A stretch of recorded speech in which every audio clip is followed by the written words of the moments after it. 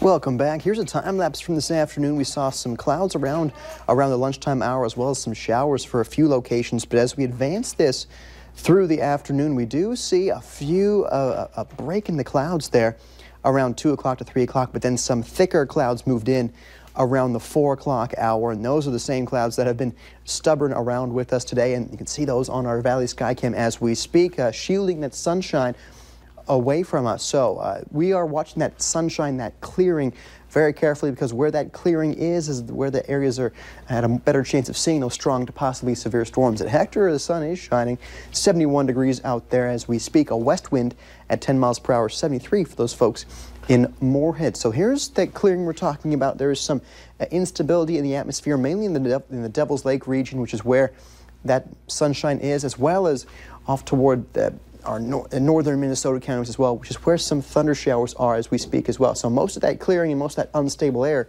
is north of I-94 at this time, which happens to be right where the marginal risk of severe weather is. And marginal is on a scale from 0 to 5 for a severe weather risk, it's at a 1. So just an isolated severe storm is possible in that dark shaded green there uh, just north of 94. So here's right now. The severe storms in northern Canada or excuse me, in our northern neighborhoods and in southern Canada, they are moving slowly southeastward. Have not seen a severe thunderstorm warning issued by the American Weather Service at this time for those storms, but I'm watching those very carefully as those are approaching the international border. We are also watching those storms in uh, north, northern Beltrami as well as Lake of the Woods County, but those are just thunder showers.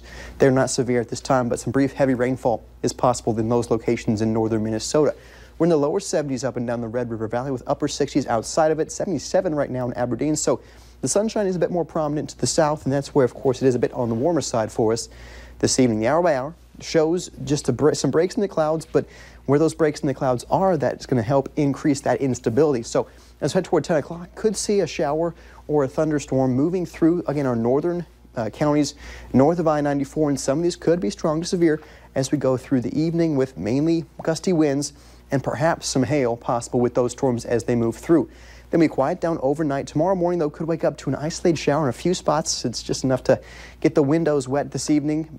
Temperatures uh, at 7.30 a.m., 40s and 50s. So much cooler tomorrow waking up uh, than it was today by about 5 degrees. And advancing through the afternoon hours, we see plenty of sun around, but we could have a passing sunshine-driven shower passing through in the afternoon hours. Not expecting a washout, not expecting anything widespread, but could just be a splash and dash type shower as we go from uh, the peak afternoon hours tomorrow. Again, nothing too concerning for your Wednesday, and then skies then gradually clear Wednesday night. Temperatures tomorrow only in the 60s for us, so a much cooler day with those northwesterly winds between 15 and 30 miles per hour tomorrow. So that's going to funnel that cool air right into our neck of the woods as we go through the afternoon. And you can see those temperatures where the clouds hang on a bit longer, only 50s by tomorrow at 5 o'clock in our Minnesota counties.